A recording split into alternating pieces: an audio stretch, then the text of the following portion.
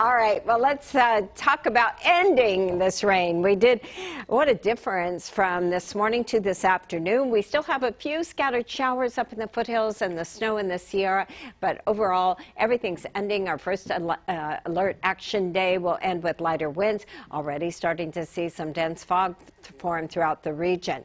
Here's that storm system it's now pushing into the San Joaquin Valley, Southern California.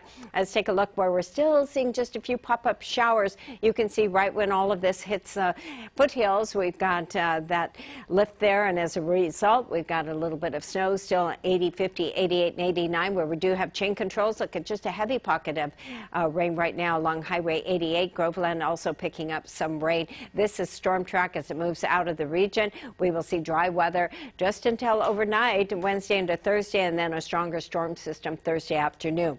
Much different winds. You see the light winds in Modesto, and that means a little bit of fog already, quarter mile visibility in Placerville, also eastern sections of San Joaquin Valley.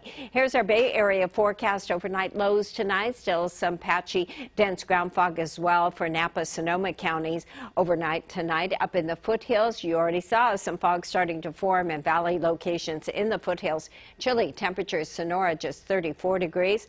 50 degrees in Jackson, 36 in Georgetown, a high temperature of just 48.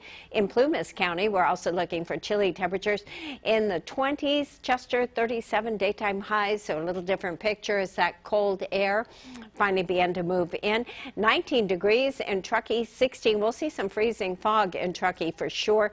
We picked up about a half foot of snow and many mountain locations, ski resorts. Daytime highs tomorrow will just be in the mid 30s with lighter winds. Just just a whole different day than the way we woke up this morning.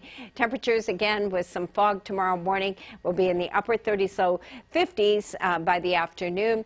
Some sunshine in the forecast. It could be a little bit uh, cloudy throughout much of the early part of the day in the valley. Seven day forecast, a dry day tomorrow.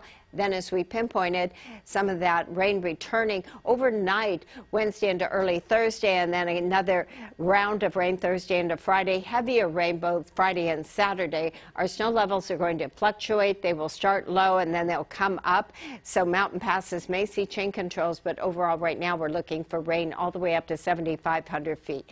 Dry New Year's Day, great travel day, right, Curtis?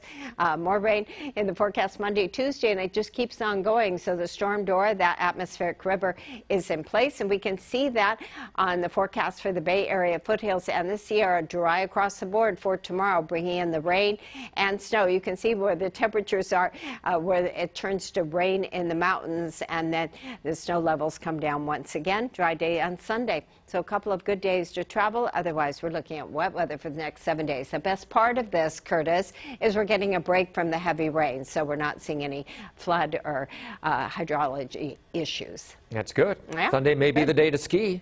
Yeah, great day. All right, thank you.